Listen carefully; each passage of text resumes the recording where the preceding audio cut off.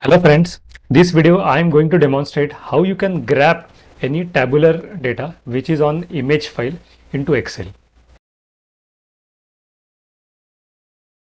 Let me show you that image file before I grab this. Okay, so I have a file called FD rates. So as you can see, so uh, this is Union Bank interest rates which are grabbed from their web page. Okay, and this isn't so basically friends this is an image. So I cannot select okay like this because it is internally an image not text. Okay now let's see how you can grab all these figures into a tabular format in excel. So first i would be demonstrating it on excel application. So i will open my excel first. Okay search into this excel. So okay it requires office 365 version okay? So ensure you have updated version. Okay so now if you go to data tab and if your excel is updated you should find this. From picture okay? So i will click here and from picture file okay? And let's browse this. So i will choose desktop and fd rates okay? This file.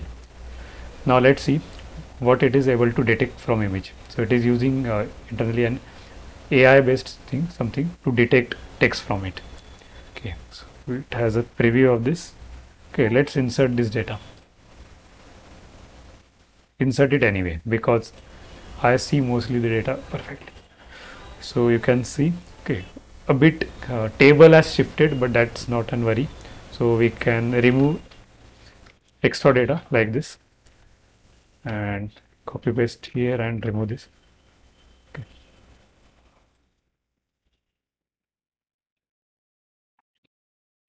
Okay, now this looks perfect. Friends, I know you have one question ready. At what if you don't have Office 365 version of Excel, okay, or maybe you're having some older version. Now you can enjoy this feature even in a free version of Excel.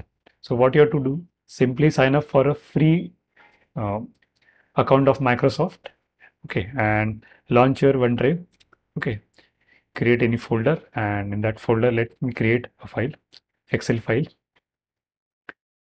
Let me rename this.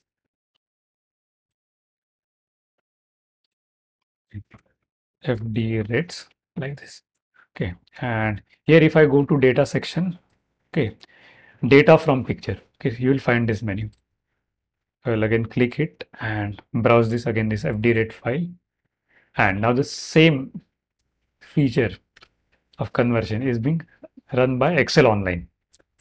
Insert data, insert any. Okay. So we got again same thing. So you know now what to do with that.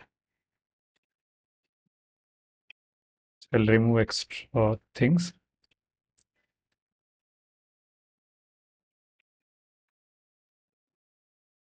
Okay, done. So our data is ready. Lastly, I would say please try this technique okay and uh, one disclaimer i would like to put so please don't expect that each and every image would be converted very smoothly because because the thing depends on how its uh, ai engine is there so microsoft engine might not be able to detect each and every tabular data or maybe if even if it detects it might not be able to arrange it properly so you may have to play some data afterwards okay. so if you like this video please press the like button and subscribe to the youtube channel